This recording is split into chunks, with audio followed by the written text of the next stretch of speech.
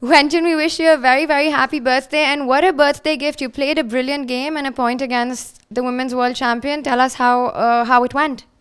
Well, actually, the opening uh, it was kind of preparation, and I I hope that uh, it is a fighting position. And then, uh, in some moment, uh, she blundered, uh, blundered some moment, and then uh, she she's rook versus knight and pawn, and then both of us un under time pressure, and I was very lucky that uh, she uh, didn't make the most precisely move, and finally I win.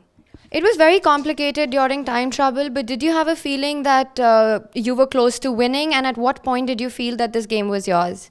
I think the moment she played rookie e5 and after c4, I think the the the, the position is very hard for her.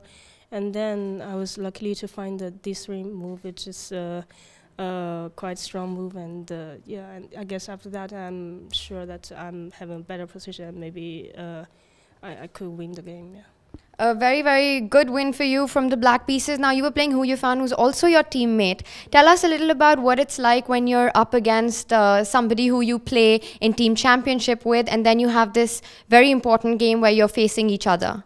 Well, actually, uh, I think the last time I played a game against her is about 2014. So it's been a long time, and uh, I think she's the, of course, she's the strongest woman in the world, and uh, okay, well, she, she plays very, uh, very nice. and yeah. Right, and what plans for birthday celebrations now? Uh, well, I guess if possible, maybe I just uh, going out dinner tonight. and. yeah. Well, have a great evening, and we wish you all the best for the remaining two games. Yeah, thank you, Tania.